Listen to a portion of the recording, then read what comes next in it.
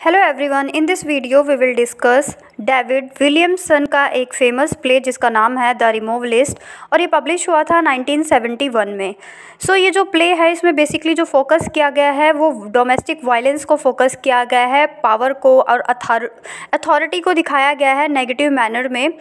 इस प्ले में हम देखेंगे कि किस तरह से दो इंस्पेक्टर या दो पुलिसमैन अपनी पावर और अथॉरिटी का मिसयूज़ करते हैं और डोमेस्टिक वायलेंस भी करेक्टर्स के थ्रू शो किया जाएगा। इस प्ले में डेविड विलियमसन ऑस्ट्रेलिया के उस टाइम के इन्वामेंट को शो करते हैं सोसाइटी को शो करते हैं। उस टाइम पे जो सिचुएशंस थी, वो उन्होंने अपने करेक्टर्स के थ्रू प्रूफ करने की कोशिश की है। बात करते हैं डेविड की so he was born on twenty fourth February nineteen forty two Melbourne Australia में इनका बोर्न हुआ था। ये एक प्ले राइटर थे स्क्रीन राइटर थे। इनका जो लिखने का जॉनरा था, वो बेसिकली लिखते थे थिएटर पे फ़िल्म पे और टेलीविज़न पे। इस वीडियो में हम डिस्कस करेंगे कि ये जो न, इसका टाइटल है इस प्ले का द रिमोवलिस्ट इसको क्यों रखा गया है या फिर जो इसकी इंपॉर्टेंट थीम्स हैं वो क्या क्या हैं जो इनके इंपॉर्टेंट वर्क हैं डेविड विलियमसन के इनके इंपॉर्टेंट वर्क की बात करेंगे इनके कुछ फ़ेमस अवार्ड्स की बात करेंगे और समरी की बात करेंगे। तो स्टार्ट करते हैं अवार्ड से कि जो इनको कौन कौन से फ़ेमस अवार्ड मिल चुके हैं। इनको ब्रिटिश जॉर्ज डिवाइन अवार्ड मिला था नाइनटीन में। इनको बेस्ट स्क्रिप्ट अवार्ड मिला है इनके वर्क द रिमूव लिस्ट के लिए 1972 में। सी ये जो नोवेल है, ये जो प्ले है, ये पब्लिश हुआ था 1971 में और इसी प्ले की स्क्रिप्ट को देखते हुए डेविड को 1972 में इनको बेस्ट स्क्रिप्ट अवार्ड मिला था। 2005 में इनको जे सी विलियम्स अवार्ड भी मिल चुका है। अब हम बात करते हैं इसके कुछ करेक्टर की जो इस प्ले के कुछ मेन करेक्टर्स हैं, वो हैं। Neville Rose Dan Simmonds the removalist Kate Mason Fiona Carter और कैनी ये इसके कुछ इंपॉर्टेंट करेक्टर्स हैं जो इस पूरे प्ले में आपको दिखाई देंगे और इन करेक्टर्स के थ्रू ही डेविड विलियमसन ने ऑस्ट्रेलियन सोसाइटी को शो किया है, उनके नेचर को शो किया है, उस टाइम के वायलेंस को शो किया है और मिसयूज़ जो लोग करते थे पावर का, उसको भी शो किया है। Play begins with the location of the police station. ये जैसे ही प्ले स्टार्ट होता है, वो लोकेशन है पुलिस स्टेशन की और ये पुलिस स्टेशन है मेलबर्न, ऑस्ट्रेलिया में। तो नो डाउट, यहाँ पे जब ऑस्ट्रेलिया प्ले की बात कर रहे हैं तो ये जो सिचुएशन है, जो प्लेस है, ये वहीं की है। और यहाँ पे स्टोरी क्या होती है, स्टार्टिंग कहाँ से होती है? A new police constable join this police station after a long training. So आपको पता होगा कि जो पुलिस मैन होते हैं, इनकी एक ट्रेनिंग होती है और उसके बाद ही कहीं पे ये ज्वाइन करते हैं, इनको कहीं पे डेस्टिनेशन दिया जाता है। तो इसी तरह से एक पुलिस मैन यहाँ पर ज्वाइन करता है, जिसका नाम है नेविले रोज़ जो नेविले रोज़ है, वो ज्वाइन करता है और मिलता है अपने सीनियर ऑफिसर से, जो कि ओल्ड और एक्सपीरियंस हैं और उन्होंने जॉब में काफ़ी साल बिता दिए हैं। उनका नाम है Dan Simmonds Neville Rose and Dan Simmonds both are in the same post but दोनों का जो बिहेवियर है, जो दोनों में डिफरेंस है, वो बहुत ज़्यादा है। अब यहाँ पे डिफरेंस इस तरह से भी देख सकते हैं कि एक किसी ने एज अ फ्रेशर ज्वाइन किया है जॉब को और दूसरे डेंस मॉन्डस को एक एक्सपीरियंस है उस फ़ील्ड में और वो एक सीनियर ऑफिसर है। बोथ हैव डिफरेंट पर्सनैलिटी दोनों की पर्सनैलिटी बहुत ज़्यादा डिफरेंट है। जहाँ पे अगर हम नेविले की बात करें तो बहुत काम है इन्फीरियर है और बहुत हेजिटेट करता है अपनी चीज़ों को बताने के लिए। उसके अंदर कॉन्फिडेंस की कमी है। वहीं पे डैन सिमोंडस जो है, वो बहुत कॉन्फिडेंट है अपनी बातों के लिए और थोड़ा सा एग्रेसिव है comparison to Neville Rose Dan Simmonds जैसे ही नेवले रोस वहाँ पे ज्वाइन करते हैं उनके बारे में इंफॉर्मेशन कलेक्ट करते हैं। पहले तो उनकी क्वालिफिकेशन उसके बाद उनके फैमिली बैकग्राउंड के बारे में पूछना शुरू करते हैं। ले है वो बहुत ज़्यादा इन्फीरियर है और कहीं ना कहीं डरा हुआ है। वो अपनी इन्फॉर्मेशन देने से हिचकिचाता है। वो हिचकिचाता है ये इन्फॉर्मेशन देने से कि जो उसके फादर हैं वो कॉफ़िन मेकर हैं। कॉफ़िन मेकर ये जो क्रिश्चियन में बोलते हैं ना, जो कब्र को बनाते हैं तो वो यही काम करते हैं नेवले के फादर, लेकिन वो इन्फॉर्मेशन डैन सिमोंडस को देने में उसे हेजिटेशन फील होती है। अब ये दोनों, इन दोनों का कम्युनिकेशन चल ही रहा होता है। इतने में दो जो वुमेन हैं, वो आती हैं। अभी जो दो वुमेन हैं, ये नया करेक्टर है हमारा कैट मैंशन और फियोना कार्टर ये दोनों बहनें हैं सिस्टर्स हैं। And they are coming for a complaint ये कंप्लेन लेके आई हुई हैं। और कंप्लेन किसके अगेंस्ट है? फियोना के हस्बैंड कैनी ये जो कैनी करेक्टर है, हमारा ये फियोना का हस्बैंड है और कंप्लेन इसी के अगेंस्ट है।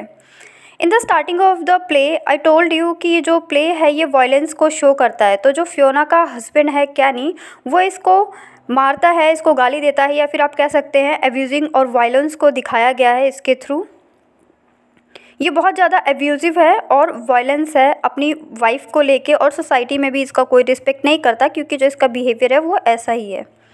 अगर हम कैट मैंशन की बात करें तो कैट मैंशन जो है वो कॉन्फिडेंट है पावरफुल है रिच है और वो रिच क्यों है? क्योंकि कहीं ना कहीं जो उसके हस्बैंड हैं वो डेंटिस्ट हैं डॉक्टर प्रोफेशन में हैं और उनके पास अच्छी अर्निंग है। अब यहाँ पे जो दोनों सिस्टर्स का बिहेवियर है और दोनों सिस्टर्स की जो पर्सनालिटी है कैट मैंशन और फियोना कार्टर की, वो साइड बाय साइड इसको कंपेयर किया है राइटर ने नेविले रोस और डैन सिमोंडस के बीच में। जैसे कि नेवले जो था, वो हेजिटेट है और इन्फीरियर है कॉन्फिडेंट नहीं है, लेकिन डैन सिमोंडस कॉन्फिडेंट है वो अपने काम को लेके या नॉर्मली भी। इसी तरह से जो कैट मैंशन है, वो बहुत कॉन्फिडेंट है पावरफुल है रिच दिखती है और जो फियोना है, वो डरी हुई है उसका कोई कॉन्फिडेंस लेवल नहीं है, वो कहीं ना कहीं अपनी सिस्टर के थ्रू ही अपनी बातों को पहुंचाती है। अब यहाँ पे रीज़न अगर हम देखें तो जो कैट मेंशन है, उसका जो फैमिली लाइफ है या जो लाइफ उसके हस्बैंड के साथ है, वो बहुत अच्छी है। लेकिन जो फियोना कार्टर है, उसकी उसके हस्बैंड के साथ, जिसका नाम है कैनी उसकी जो मैरिड लाइफ है, वो भी अच्छी नहीं है और वो वायलेंस का सामना कर रही है, कहीं ना कहीं एक तरह से दब चुकी है। वो अपने पति को बर्दाश्त करते करते तो फाइनली आज वो कंप्लेन के लिए आए हैं। We can say both sisters are opposite to each other in a wealth and family अब जो वो फ़ाइल करते हैं अपनी कंप्लेन को तो जो सिमोंडस है डैन सिमोंडस जो सीनियर ऑफिसर है वो बोलते हैं नेविले रोज को कि तुम तुम्हारा अभी नया ज्वाइनिंग है और इस केस को तुम ही डील करोगे। लेकिन यहाँ पे प्रॉब्लम होती है कैट मैंशन जो कि सिस्टर है फियोना की वो चाहती है कि सिमोंडस इस केस को डील करे और वो उनको बोलती है कि, कि इस केस को आप ही डील करिए पर्सनली अब थोड़ा सा हम सिमोंडस के करेक्टर की अगर बात करें सिमोंडस एग्री हो जाता है कैट कैट मैंशन की बातों से और वो एग्री क्यों हो जाता है? क्योंकि जो सिमोंडस है, वो करेक्टरलेस टाइप इंसान है और वो इन दोनों लड़कियों को जब देखता है, दो महिलाओं को जब देखता है कहीं ना कहीं वो सेक्सुअली अट्रैक्ट हो जाता है और वो वो सोचने लगता है कि अगर उसने केस में अपना इंटरेस्ट दिखाया और उसका केस शॉर्ट आउट हो जाएगा तो इन दोनों सिस्टर्स में से किसी ना किसी के साथ वो अपनी सेक्सुअल डिज़ायर्स को फुलफ़िल कर लेगा। इसीलिए सिमोंडस उस केस को हैंडल करने लग जाता है। नेवेले रोज़ को छोड़ देता है, उसको बोलता है कि वो खुद ही हैंडल करे अब जो फ्योना है, वो बताती है कि किस तरह से वायलेंस मारपीट उनके, उसके हस्बैंड कैनी के साथ कैनी ने उसके साथ किया है। तो जो सिमोंडस है, वो बोलता है कि उसको कुछ प्रूफ चाहिए इसके लिए।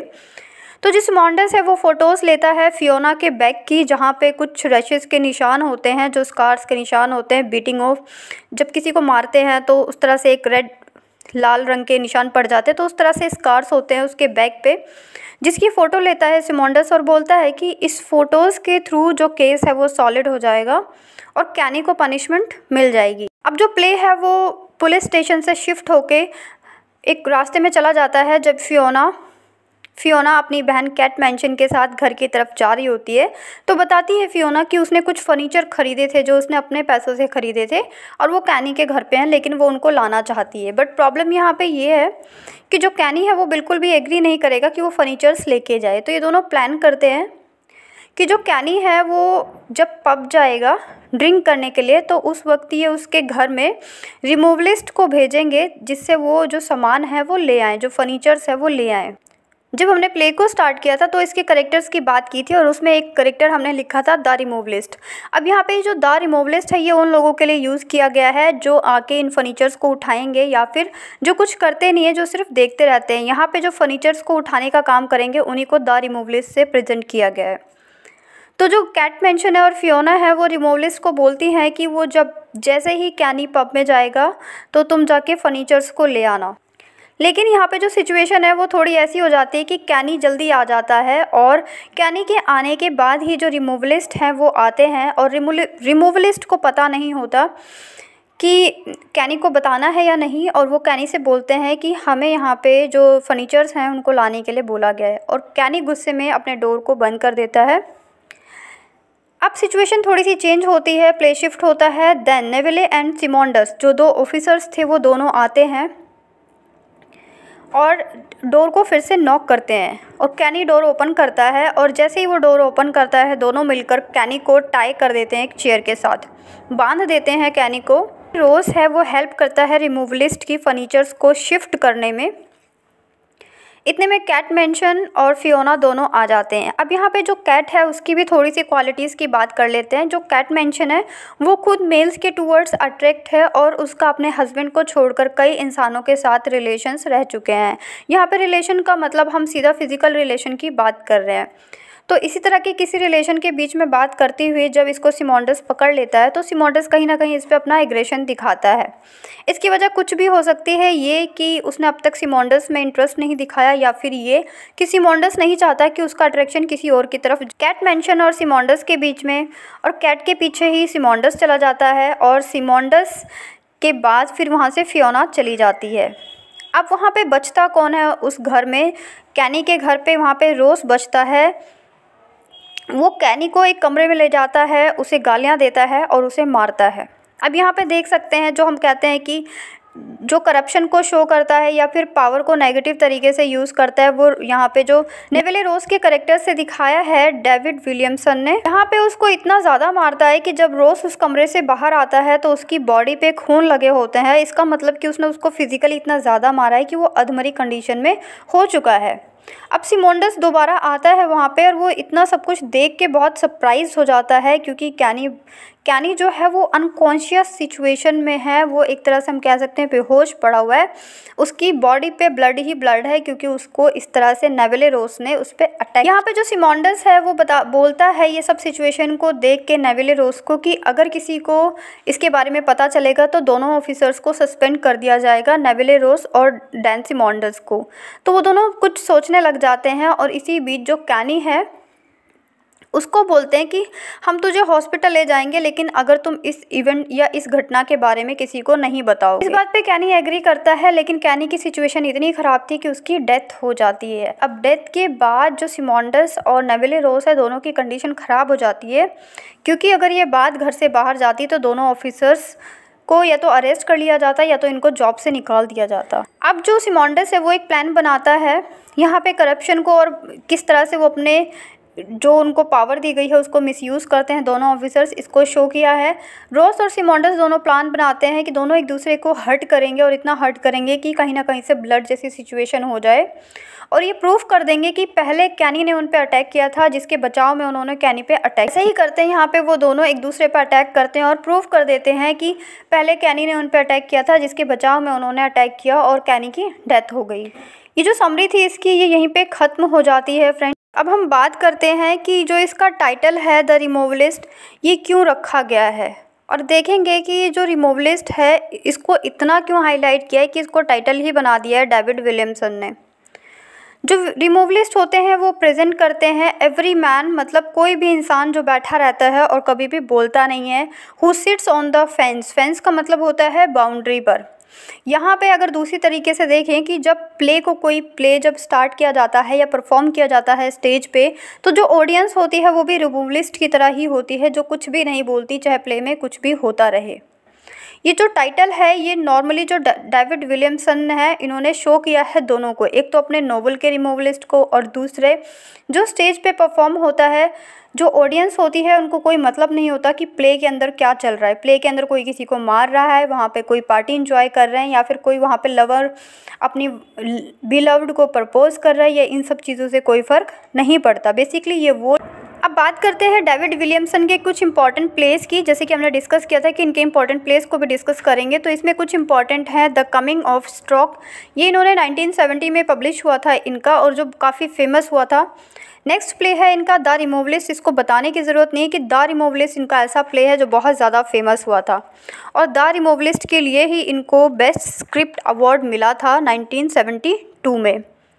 उसके बाद इनका जो प्ले है, वो है डॉन्स पार्टी ये इन्होंने लिखा था 1971 में, पब्लिश हुआ था इनका ये। नेक्स्ट प्ले इंपॉर्टेंट प्ले है द डिपार्टमेंट। और डिपार्टमेंट इनका 1975 में पब्लिश हुआ था। और दो, जो द डिपार्टमेंट प्ले है, वो भी कहीं ना कहीं एक तरह से जो पावर है, जो करप्शन पावर है, इसी को शो करता हुआ एक प्ले है। बात करते हैं अब इनकी कुछ थीम्स को कि जो ये प्ले है द रिमूवलिस्ट इसकी क्या इंपॉर्टेंट थीम्स हैं और डेविड विलियमसन ने इस प्ले के थ्रू कौन कौन सी थीम्स को दिखाने की कोशिश की है ऑस्ट्रेलियन सोसाइटी को किस तरह से प्रेजेंट किया है। तो यहाँ पे बेसिकली बात की गई है वायलेंस की। एग्ज़ाम्पल के लिए हम देख सकते हैं वॉलेंस किसके बीच में? फियोना और कैनी कैनी ने किस तरह से फियोना पर एक कह सकते हैं मारपीट की उसको और इस तरह मजबूर कर दिया कि वो जाकर उसकी कंप्लेन लिखवाए। और बीच में नो प्ले में हम देखते हैं कि उसकी बैक पे कुछ स्कार्स के निशान हैं जो कि प्रूफ करते हैं कि जो कैनी है उसका नेचर कितना वायलेंसफुल है उसकी वाइफ के लिए फ्योना के लिए। वायलेंस को हम देख सकते हैं पुलिसमैन और कैनी के रिलेशन में कि किस तरह से दोनों पुलिसमैन ने नेवेले रोज और सिमोंडस ने मिलकर कैनी को इस सिचुएशन तक पहुँचा दिया कि उसके डेथ प्ले में पावर का मिसयूज़ करते हुए भी दिखाया गया है कि किस तरह से पुलिसमैन ने अपनी पावर का मिसयूज़ करते हुए कैनी को डेथ तक पहुँचा दिया। हालाँकि हम ये नहीं कह सकते कि, कि जो कैनी है वो बिल्कुल प्योर है उसको पनिशमेंट नहीं मिलनी चाहिए पर इस तरह की पनिशमेंट अगेंस्ट है रूल के। इस प्ले के थ्रू डेविड विलियमसन ने दिखाया है कि ऑस्ट्रेलिया में भी जो वुमेन को हमेशा दबाया गया है और जो वायलेंस है वो वुमेन वुमेंस के साथ होता आया है। इसमें करप्शन को नो डाउट प्रेजेंट किया गया है पुलिसमैन के थ्रू तो इस तरह से ये जो प्ले है हमारा दारी मूवलिस्ट ये ख़त्म हो जाता है फ्रेंड्स मिलते हैं नई वीडियो में। इसके साथ ही आप प्लेलिस्ट हमारी प्लेलिस्ट को विज़िट कर सकते हैं for novels poetry drama short stories के लिए। If you like the play like share and subscribers be with us goodbye and take care friends